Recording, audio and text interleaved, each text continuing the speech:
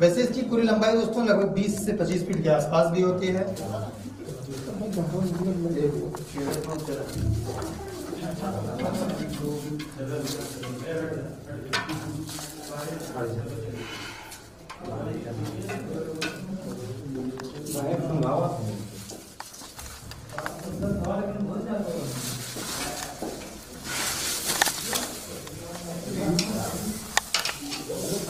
我买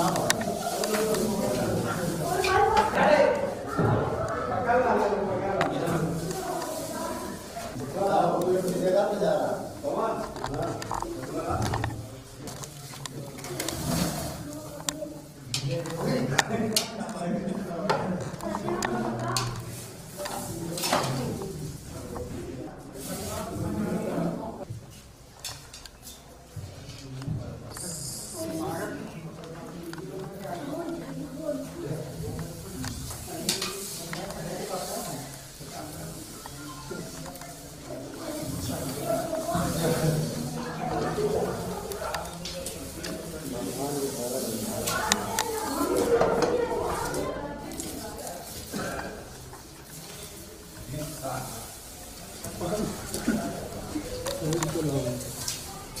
आप आगे जा रहे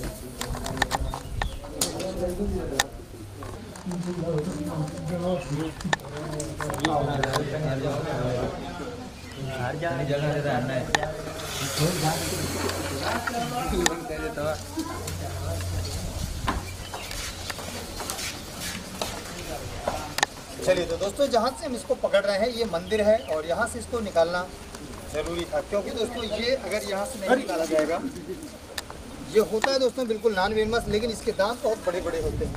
इसका जो पसंदीदा भोजन है वो लोमड़ी को सियार को और बड़े से बड़े जानवर के छोटे से छोटे बच्चे को ही अपना निवाला बनाता है। ये दोस्तों जैसे ही पकड़ता है सीधे हड्डी पसली को तोड़ ताड़ के सीधे खा जाता है। ये जहरीला बिल्कुल नहीं होता है। और इसको गाँव में कहीं कहीं पर चित्ताड़ या तो अजगर के नाम से भी जानते हैं। चलिए दोस्तों इसको हम पैक करते हैं और ये जैसे ही दोस्तों यश की तरफ़ बनता है पीछे की तरफ़ मुड़ता है सामने अपने भोजन पर ये शिकार करता है। एक कहावत है कि अजगर करे न चाकरी और पंछी करे न काम। दास में लुका कह गए सबके दाता राम। एक ही जगह बैठ करके वो भी हनुमान जी के पास में। तो अब आप समझ सकते हैं कि इसको भोजन तो बड़े आराम से मिलता होगा। है ना? उधर कबूतर तोड़ता है रात में। कबूतर खाता था। एक दो मैं रोज फेंकता हुआ सवेरे एक फेंका हूँ यहाँ। हम्म। जब सुबेरे मंदिर खोलता था मतलब अंदर जाता हूँ वहाँ केवल देखते हैं तो कबूतर मिलते हैं। हाँ कबूतर एक आध दो रोज यहाँ मिलते हैं। चलिए दोस्तों हम इसको पैक कर देते हैं और लेके चलते हैं काफ़ी दूर।